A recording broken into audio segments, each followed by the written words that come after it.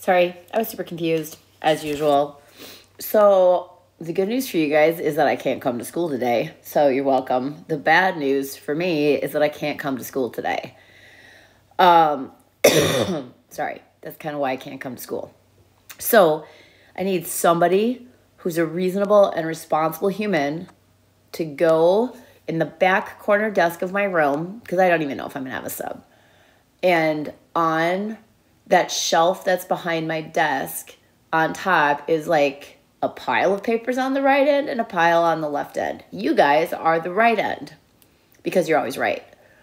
If you go in there, you're going to find this sheet of paper because it's not in the notes packet. And then you should also find 5.5 day three worksheet. And I will double check that you have an answer key online so that you can check it. I know it's not ideal. I'm totally annoyed. Um, we aren't going to be able to change the pace or the timing, so I'm not going to come back and reteach this. We have to keep moving on because there's not enough days left in the semester.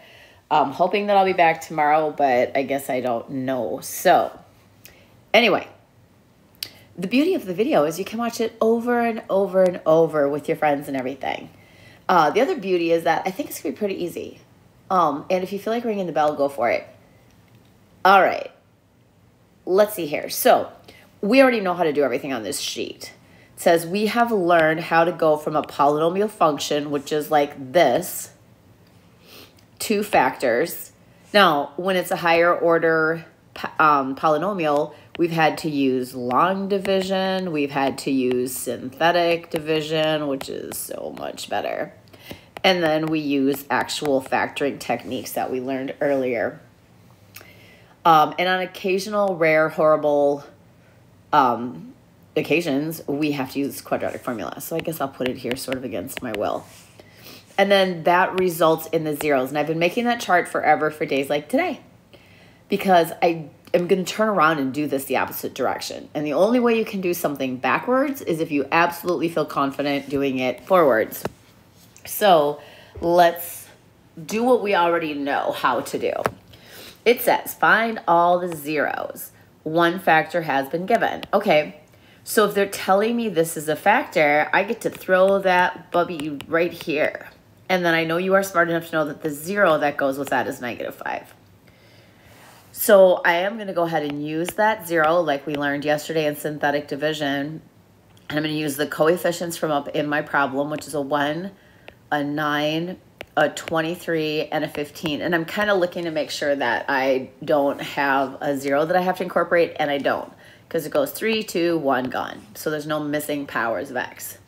Then I'm to do my thing where I drop this first number, everything below the line gets multiplied, and then I'm going to combine each column hoping to get a zero at the end because it says it is a factor. So I should have a zero at the end. So this is going to give me a 4, boom, boom. Three, negative 15. Yay, happy day. Hadina's gone and I got a zero. Win-win.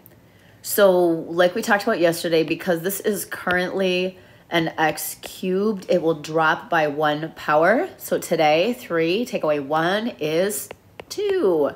So this fact, excuse me, this polynomial we have left is 1x squared plus 4x plus 3 and we need it to equal zero. So we are working on this part right now. We did synthetic division to break it down. And now that we're at a quadratic, we can either factor it or use quadratic formula. In this case, I can make three in only one way.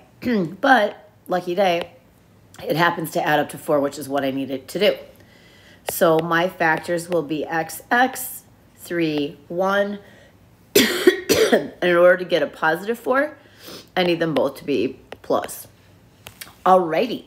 So my other factors are x plus 1 and x plus 3. Keeping in mind that when it says on a worksheet or ultimately the text test next week, when it says to list all factors, that is all factors, including the one that they gave you. The idea is that if I broke, excuse me, if I rewrote this as factors instead of all multiplied out, if I wrote it as x plus 5 that they gave me times the other two, then it starts to kind of look like, what was that, 5, 2? 5, 3, I think it was, where I had to multiply everything out. And if I did multiply everything out, and we practiced back in 5, 3, I would FOIL this, and then I would multiply everything by these guys. Well, what happened is I'd end up right back with that same thing. That's the idea of factors, is they have to multiply to go back and become what you had before. So then if it asks me to list all of my zeros, I figure out what makes each of those equal zero.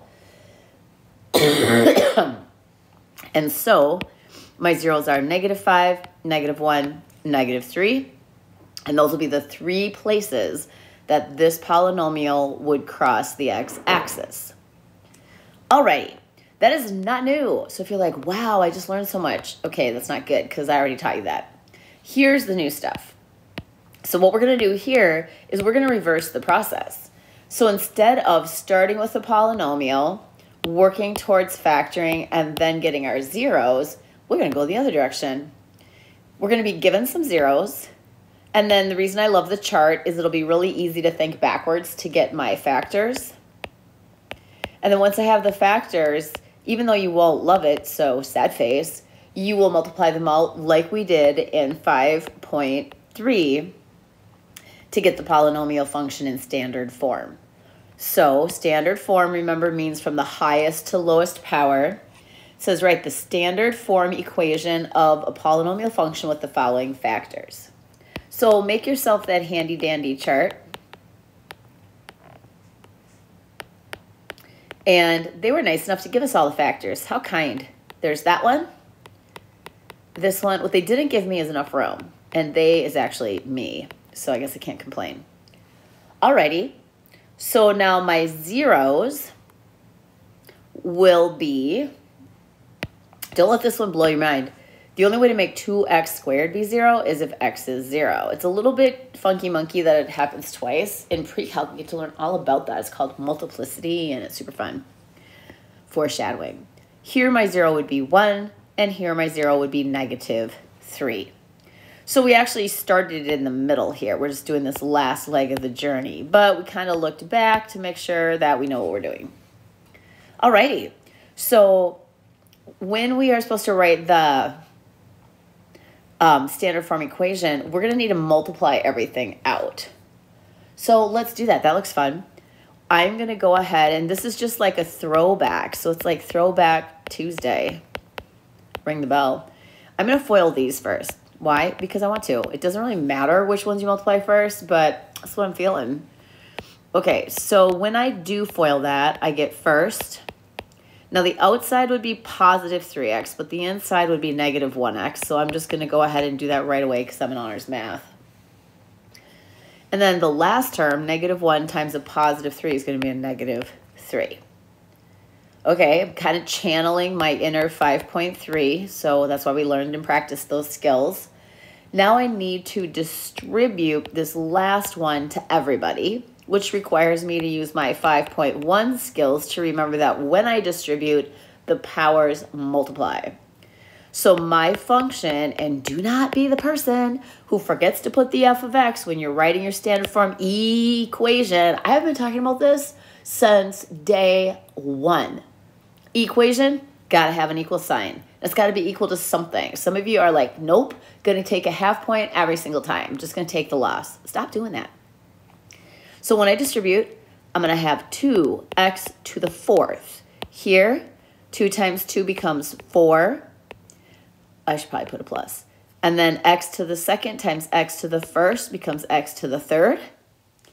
And then my last one is 2x squared times the negative 3, so negative 6x squared. Boomsy Dunzo. I did what they said. Write a standard form equation of a polynomial function with the following factors. So that's like saying write a number with the following factors. 2 times 3 times 4. Multiply them out.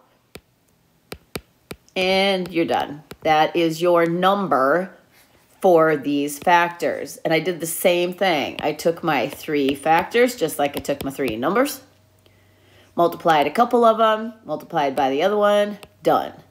Here I FOILed out two of them, multiplied them by the last one, done. Easy, McPeasy. Don't even pretend you don't know how to do it because I'm not there. All right, now we're going to go from the very beginning because now we're like practically experts. So instead of giving me the factors, they're going to give me the zeros. How do I know that? Because it says.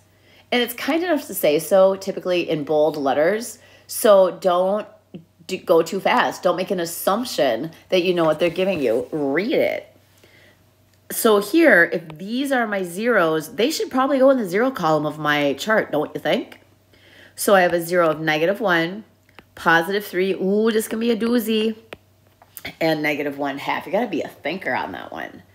So we have to go to the factors. You can't just multiply the zeros out. We have to multiply our factors out. Do some thinking cap kind of thinking. Uh, this one's not very hard. What would give me a negative 1 as a 0? x plus 1. How about a 3? x minus 3. Ooh, how about this one? You got to think, what's going to be where in order for me to get negative 1 half when it's set equal to 0? So if I think backwards, it's going to be 2x plus 1 because if this is where I started, I'd minus that 1 from both sides and I would divide by 2. So you're going to have to use your thinker to get that last one. Now, I know you wish you were done, but you're not done. Not all wishes come true. So we are this far. We had zeros. Now we have factors. Now we're going to rock those and turn them into polynomial function by multiplying. So my function, standard form equation, so I got an equal sign, f of x equals, and this is what we call factored form for no like mysterious reason. Factored form is you write out the factors. Standard form, you got to multiply them all out. So let's do it. So these two I'm going to go ahead and FOIL. First, the outside's negative 3x, but the inside's a positive 1x, so full bam. And then this last part will be a negative 3. And then I'm going to multiply by this. So you're still flashing back to 5, 3. And what we're going to do now is multiply everything by this 2x and then everything by the 1. I have zero room, so I'm coming down here because I am messy.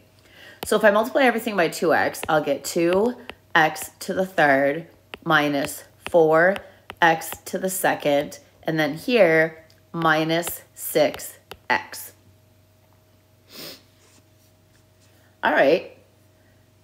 Then I'm going to have to go ahead and multiply everything by a positive 1. I'm going to do the Hedin thing where I line them up. So 1 times x squared is 1x squared, and I'm going to put it under the other x squared so that I don't get lost and confused. Then 1x times negative 2 is negative 2x. 1 times negative 3 today in honors math is negative 3. Big fat line, and now I'm just combining. So I'm going to go ahead and combine these. So my final answer is a polynomial function. That's an equation, so I write it like one and I have 2x cubed. Here I'll get negative 3x squared. These combine to be negative 8x, and these combine, well, they don't combine. There's only that one. All right, let's practice all the big brain stuff. That's the answer to that question. One of the things you have to do on this upcoming celebration of knowledge is make sure you did what they said. Did you write a standard form equation of the polynomial? Yes. Let's practice though. Let's pretend your big mean teacher was going to make you, look at that straight line, so cool, was going to make you graph this bad boy. All you care about is this. Unless you care about this, sneak attack. This is your y-intercept, by the way. So fun fact, it's going to cross there because if I plug a zero in for all of these x's, I get a negative three. You're not responsible for knowing that, but why not learn more stuff, fill your brain with good things. Okay, so let's walk through this. My leading coefficient is 2. Nobody cares. What we care about is that it's positive. So the right end will go up because your leading coefficient tells you what the right end does. Then we look at the degree. Degree is 3. Nobody cares.